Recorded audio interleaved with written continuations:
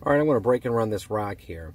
So I, I set the camera up and just had some intentions on recording a little practice section of just playing a few games of nine ball.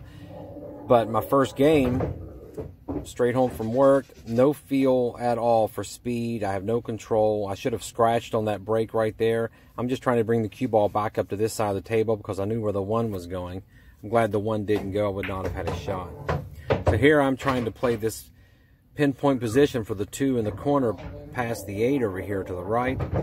But I get behind the two because I caught the rail too far. I wanted to catch the rail just below the side pocket and have a good shot on the two ball. But I still whiz it in, thinking that the seven is going to stop me, and I'll have a good shot on the three and be back in line. Doesn't work that way.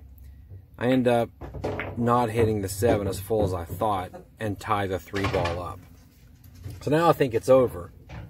Like, well, first game, first game of the day, a little rusty. The three ball has no pocket. So I check the 3-7, see where it's catching the rail there, see if I can bank this combo down in the corner pocket. I have to shorten the angle. You can tell by looking at it, it's going to probably, the 7 ball is going to hit the side rail over there on the other side of the 8. So to shorten it up, I use some inside spin and cut the 3 ball to use the friction, cut the 3 ball toward the pocket up here in the corner. And it worked. So now I think I'm back in line and maybe uh, from here on out I will have some better control and start playing better. This angle is a little bit tricky. I'm just trying to follow it all the way past the side pocket to shoot the four in the side.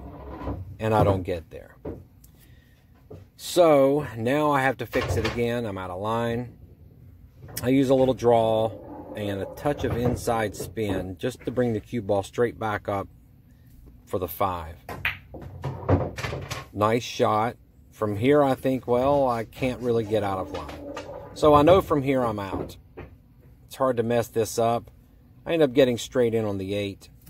But what's funny about this recording, these three racks, is the next two racks I actually break, dry on one of them, take ball in hand, and run out. The next rack I break and scratch and take a ball in hand and run out. I deleted the breaks from the uh, video, played one of my original songs in it, and my shape position play gets better and better as the racks go.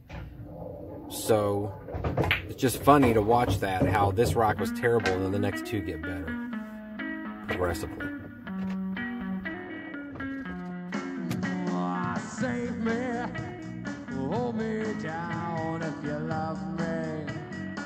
Me. Love me now when they break. Pull me back together. Love me now. Will you love me forever? Will you love me forever? Mm. I pack the pieces and I count out the fifties. You cried and go, but I can't take you with me. Too many people like to see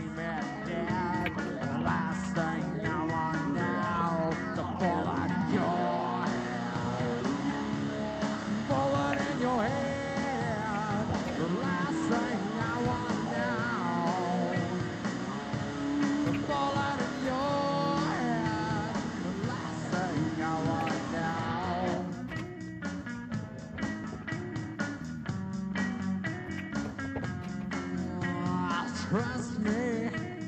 Take my hand if you love me.